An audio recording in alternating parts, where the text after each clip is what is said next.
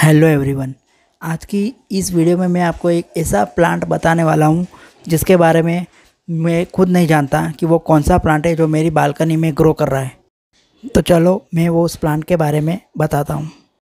तो दोस्तों, ये प्लांट है। और ये प्लांट मेरी बालकनी में कैसे ग्रो कर रहा है, उसका रीज़न मैं अभी बता रहा हूँ।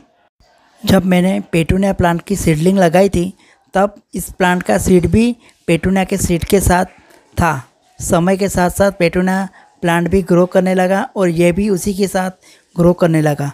मेरे जितने भी पेटूनिया प्लांट है मेरी बालकनी में, वो सभी एक तरह के ग्रो कर रहे हैं। बाकी ये एक ही प्लांट है जो अलग तरह के ग्रो कर रहा है। और आप इसकी पत्तियों को देखोगे तो काफ़ी हैवी है और काफ़ी कड़क भी है। इसके नीचे के लीव्स एक चम्मच जैसे हैं। अगर ये पेटूना प्लांट होता तो उसी की तरह ग्रो करता, लेकिन इससे लगाए हुए छः महीना हो गया। ना कि उसमें फ्लावरिंग हुई, ना ही ये बड़ा हुआ, ये वैसा का वैसा ही रहा। मेरे सभी पेटूनिया प्लांट में फ्लावरिंग भर भर के हुई, लेकिन ये जैसा का वैसा ही रहा। और आप इसके पत्ते देखोगे तो एक चम्मच जैसा लगता है हमें। देखो, नीचे के जो भी पत्ते हैं, एक चम्मच जैसा लगता है।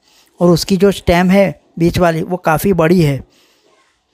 और आम पेटूनिया प्लांट की स्टेम से काफ़ी अलग तरीके की है। और आप इसके सेप को देखोगे तो ऐसा लगेगा कि कमल का फूल कैसा होता है, कैसे उसकी पकड़ियाँ ऐसी होती हैं। इसी तरह से ये, इसकी भी पकड़ियाँ ऐसी ही है। और मैं जस्ट एग्ज़ाम्पल बता रहा हूँ। और ये प्लांट काफ़ी अलग तरीके से ग्रो कर रहा था, इसलिए मैंने इसको फेंका नहीं, उसको ग्रो करने दिया, ताकि मैं देखना चाहता हूँ कि अगर इसमें फ्लावरिंग होगी तो उसका पता चलेगा कि ये कौन सा प्लांट है, लेकिन इसमें फ्लावरिंग नहीं हुई।